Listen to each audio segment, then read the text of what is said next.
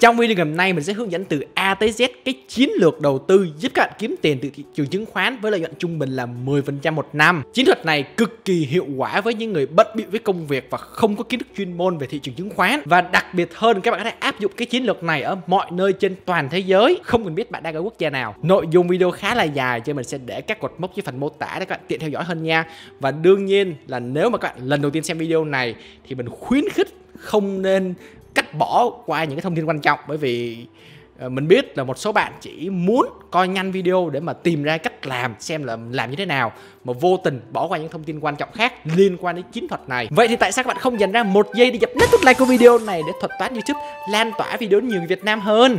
Vào video nào đầu tư thụ động, trong tiếng Anh gọi là passive investing, ra đời từ những năm thập niên 70 bởi ông John Bogle. Đây là một chiến thuật tối đa lợi nhuận bằng cách hạn chế việc mua đi bán lại nhiều lần. Khác rất nhiều so với những người đầu cơ, đó chính là mua đi bán lại nhiều lần nhằm mục đích là ăn trên đặt giá và những người đầu cơ này chiếm phần đông trên thị trường chứng khoán ít nhất là thị trường Việt Nam. Hầu hết những người theo chiến lược này họ rất là ít khi bán chút lời và thậm chí là họ chỉ chốt lời khi mà đạt được tự do tài chính. Nếu các bạn không biết cách tìm cái con số tự do tài chính này thì mình đã làm một video nói về quy luật 4%, mình sẽ để video bên đây nha. Vậy những người theo trường phái này thì họ đầu tư vào đâu? Các bạn có thể áp dụng cái chiến lược đầu tư thụ động này với hầu hết tài sản ngoài kia. Tuy nhiên, trong thị trường chứng khoán thì mọi người đều đồng ý rằng là sẽ đầu tư vào quỹ chỉ số hoặc là index fund. Quỹ này được sinh ra để mô phỏng theo một chỉ số nào đó. Ví dụ ở Mỹ khi nhắc đến index fund, người ta nghĩ ngay đến S&P 500 index fund. Đây là một cái quỹ chỉ số mô phỏng theo cái chỉ số S&P 500 và chỉ số S&P 500 là một cái chỉ số mô phỏng giá biến động của 500 công ty lớn nhất ở thị trường Mỹ.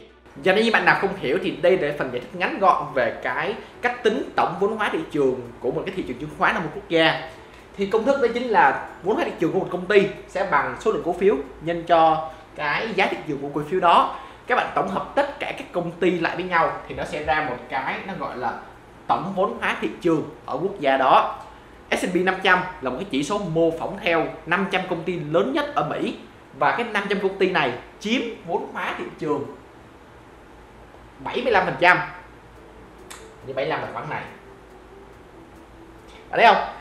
Cả thị trường Mỹ, nó có khoảng hơn, sắp xỉ khoảng 5.000 công ty, mà 500 công ty lớn nhất, nó đã chiếm 75% cái vốn hóa của cái miếng bánh này rồi. Như vậy, khá là an toàn khi mà mình có thể khẳng định rằng việc 500 cái công ty này nó di chuyển, thì cả thị trường này nó cũng sẽ di chuyển theo.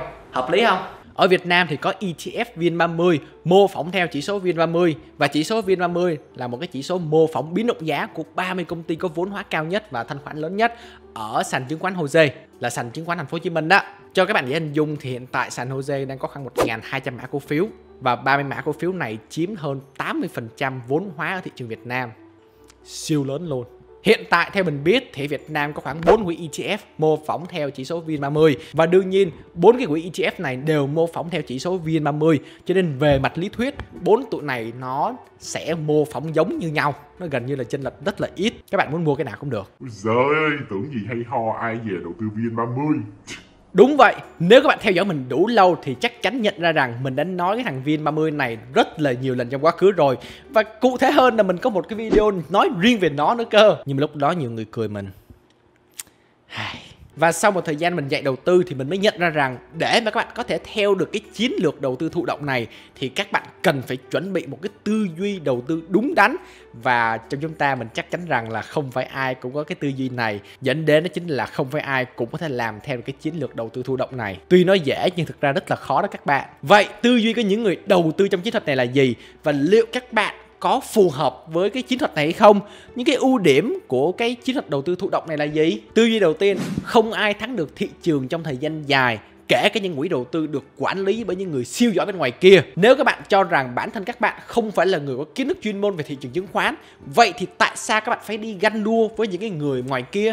Tại sao phải đầu tư dành thời gian ra tìm hiểu gì cho nó mệt vậy? Mình đầu tư vào ETF Fin30 đủ rồi nó thị trường đi lên thì mình đi lên, thị trường đi xuống thì mình đi xuống. Vậy là đỡ nhức đầu. Nếu bạn là một người không có kiến thức chuyên môn về thị trường tài chính, hoặc là các bạn có một cái công việc thu nhập ổn định, các bạn không còn thời gian để mà tìm hiểu, để mà dành cho những cái ờ, khoản đầu tư này, thì rõ ràng chiến lược này cực kỳ phù hợp cho bạn bởi vì những người trong cái nhóm này giống như bạn đó, mà tự tay đầu tư đó, thì khả năng cao là sẽ thua lỗ. Lý do thứ hai, minh bạch bởi vì các bạn sẽ luôn luôn biết được cái quỹ của mình đầu tư vào những công ty nào. Cụ thể, quỹ ETF VN30 sẽ đầu tư vào những công ty trong rổ VN30 và họ không thể nào đầu tư vào những công ty khác ngoài cái rổ này được.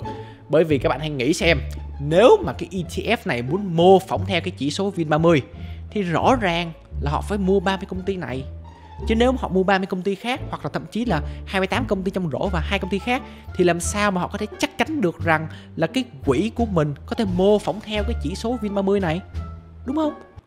Các bạn không hiểu, các bạn hãy tua lại và nghe kỹ lại đi. Các bạn sẽ hiểu ý mình. Như vậy, nếu danh mục các bạn chỉ có cái mã ETF VN30 đồng nghĩa việc là danh mục của bạn đã có một cái rổ cổ phiếu 30 công ty lớn nhất ở Việt Nam rồi. Lý do thứ ba cũng chính là cái lý do mà sẽ đánh vào tâm lý của nhiều nhà đầu tư, đó chính là chi phí thấp.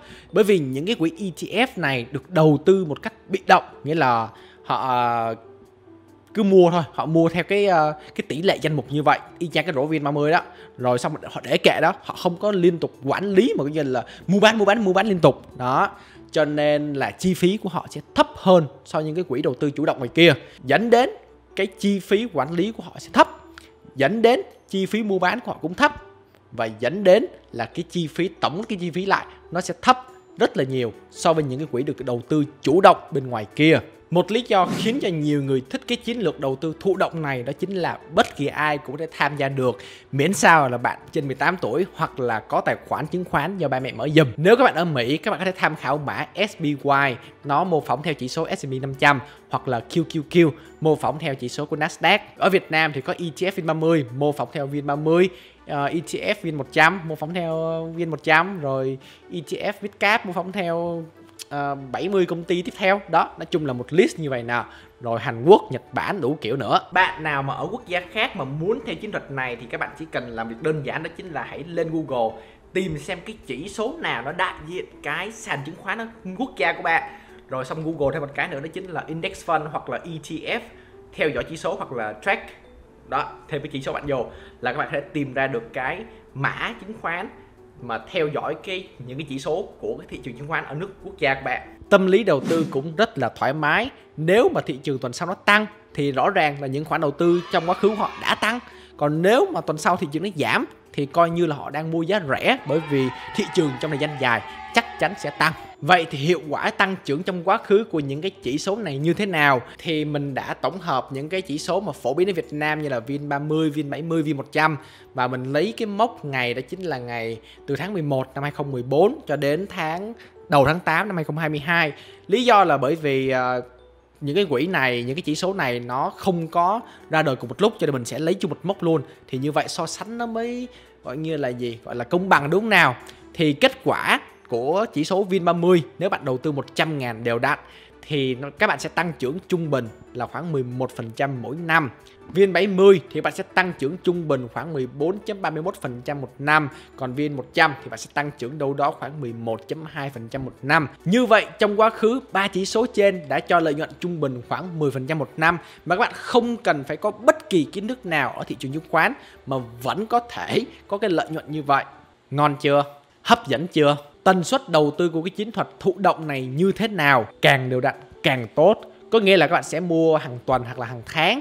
Uh, hàng năm cũng được nếu bạn muốn hoặc là hàng ngày nếu bạn muốn luôn. Mình thì mình không có đầu tư hàng ngày thì không có thời gian. Uh, nhưng mà nói về cái chiến thuật đầu tư như thế nào thì mình đã có một video mà nó rất là sâu phân tích lý do tại sao kể chuyện nói chung là nói về cái vụ này rồi thì các bạn xem ở đây vừa rồi mình đã cung cấp cho các bạn thông tin về chiến lược đầu tư rồi những cái người phù hợp cho cái chiến lược này rồi uh, tài sản đầu tư vào cũng như là cái cái tần suất đầu tư nó sẽ như thế nào. Thì tiếp theo đó chính là tới cái bước đầu tư cách làm ra sao thao tác như thế nào. Thì thật sự là nó khá đơn giản đó chính là các bạn chỉ cần có một cái tài khoản chứng khoán xong đó là nạp tiền vào và chọn mã cổ phiếu.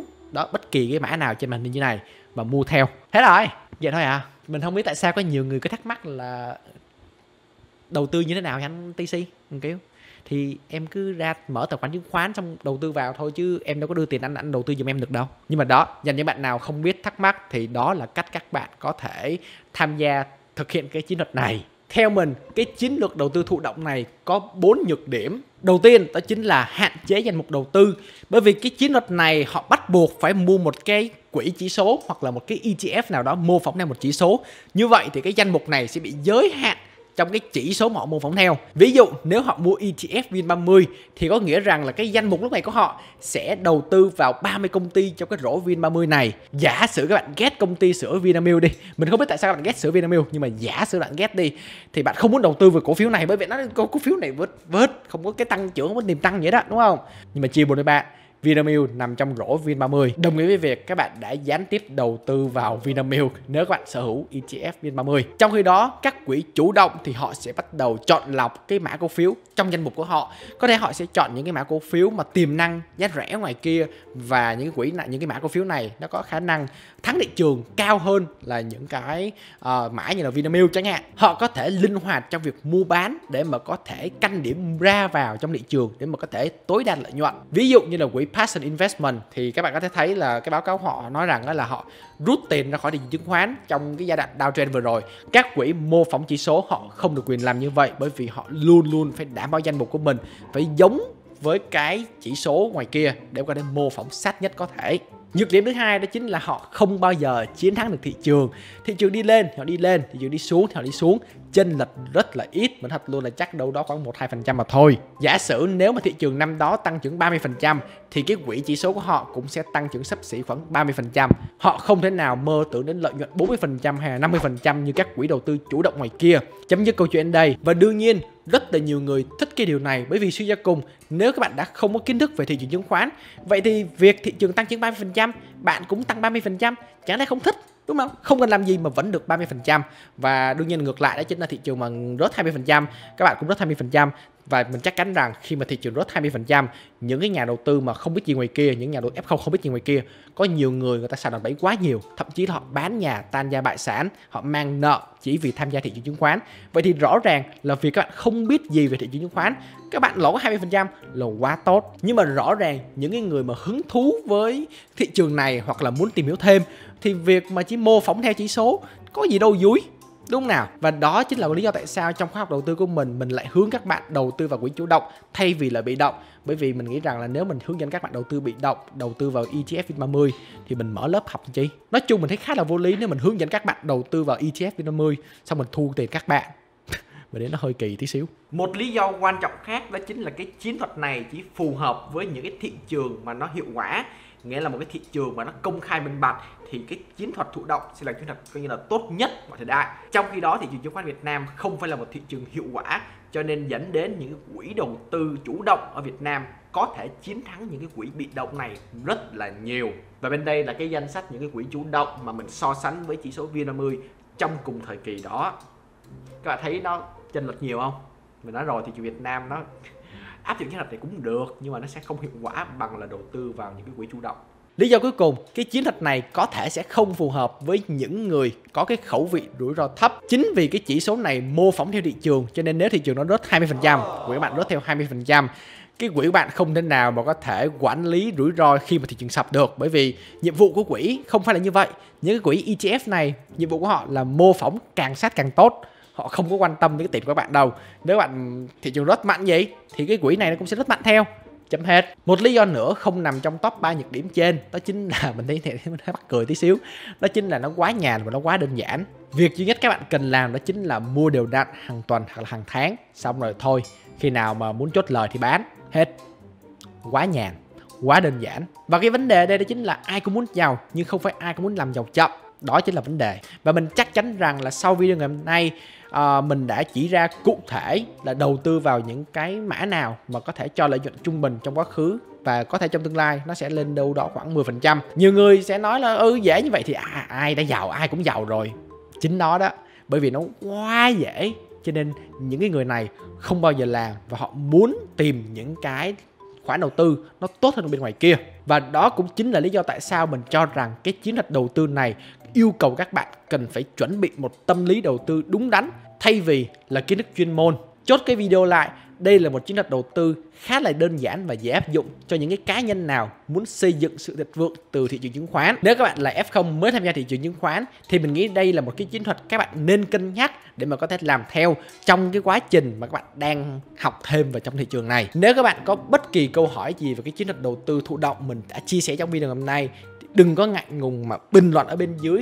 Và mình nếu mà có nhiều câu hỏi thì mình chắc chắn sẽ ra phần 2 để mà có thể trả lời tất cả các thắc mắc của các bạn. Và video đến đây là hết rồi. Bye bye các bạn. Mình cảm ơn các bạn đã coi đến những phần của video. Và nếu các bạn thích video ngày hôm nay thì mình nghĩ rằng các bạn cũng sẽ thích cái video mình nói về cái ngày nào trong tuần là cái ngày đáng đầu tư nhất.